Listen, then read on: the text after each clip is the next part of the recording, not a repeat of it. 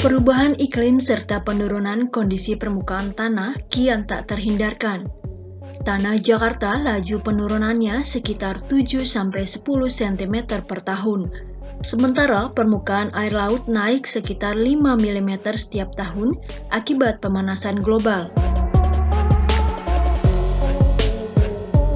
Kondisi tersebut rentan terjadinya banjirop, Langkah upaya yang dilakukan Kementerian Pekerjaan Umum dan Perumahan Rakyat PUPR adalah pembangunan tanggul di daerah pesisir utara Jakarta.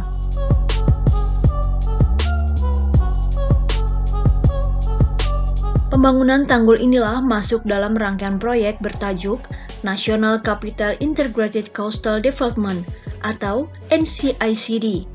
Pemerintah telah mengerjakan pembangunan fase A.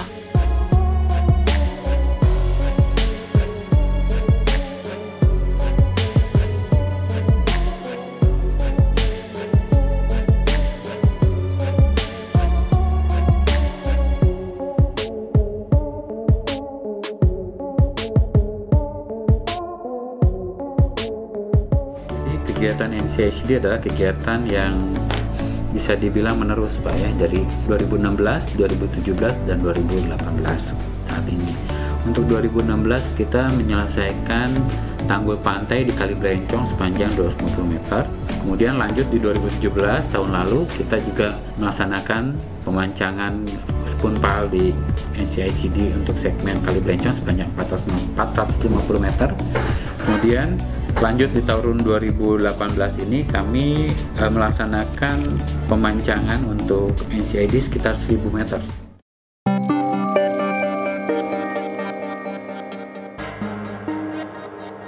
Akibat pembangunan tersebut berdampak pada nelayan setempat.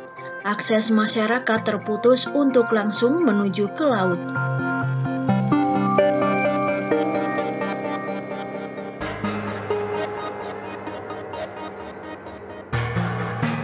Untuk memfasilitasi para nelayan dibuatlah struktur dermaga. Namun dengan kondisi geoteknik pantai utara Jakarta mengandalkan struktur konvensional akan berumur pendek karena adanya penurunan tanah.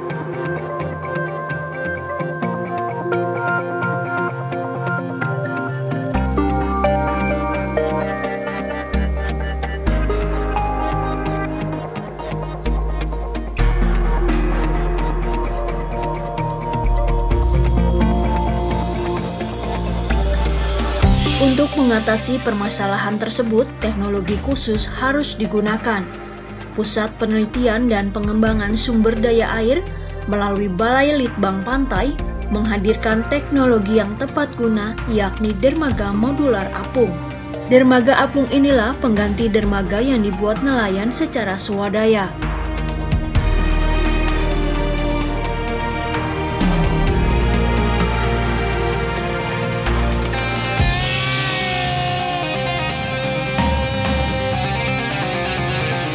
Struktur apung memiliki kelebihan dalam hal biaya konstruksi, yakni lebih murah dibandingkan dengan struktur masif yang dibangun dari dasar laut.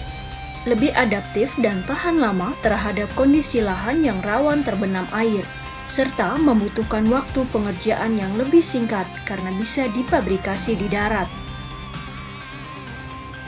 Tahap pengerjaan dan pelaksanaan pembangunan dermaga modular apung adalah pekerjaan persiapan dan pembersihan kawasan terlebih dahulu.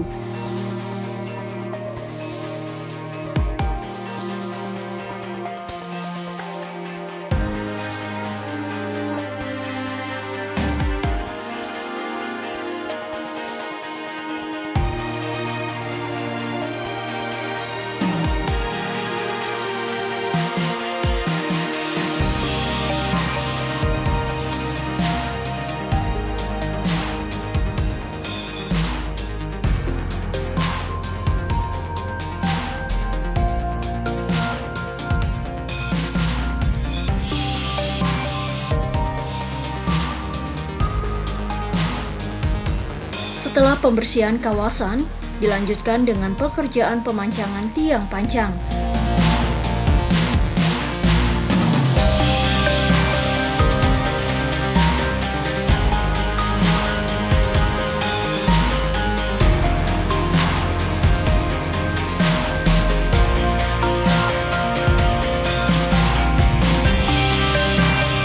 Pemancangan dilaksanakan dari sisi laut dengan menempatkan alat pancang pada ponton. Pemancangan dimulai dari sisi dekat tembok tanggul, dibantu dengan kren berkapasitas 75 ton.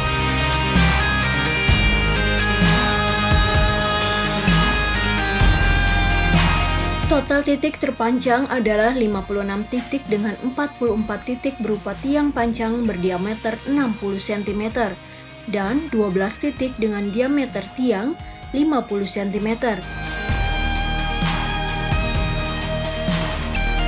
Desain dermaga ini berbentuk T dengan lebar tepian 80 meter dan bagian memanjang ke laut 60 meter, sedangkan lebar pijakan 3 meter. Produksi apung dipabrikasi oleh PT Wika Beton Tbk yang berada di Provinsi Lampung. Lokasi pabrik terletak di pinggir laut, sehingga modul yang diproduksi dikirim lewat laut dengan ponton.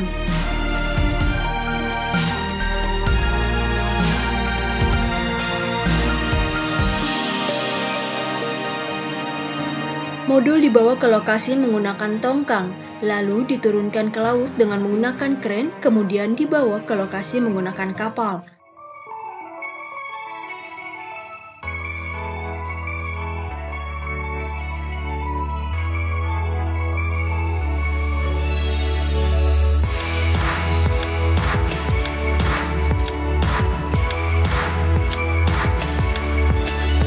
Pemasangan dimulai dengan memasang sisi dekat tanggul terlebih dahulu. Modul dihubungkan ke tiang pancang menggunakan pile guide yang disusun dari baja rectangular hollow steel sebagai sambungannya. RHS dibuat mengelilingi tiang pancang dan dipasangi raw untuk menjaga posisi modul dengan aman sehingga tidak ada interaksi yang dapat merusak modul dan tiang pancang.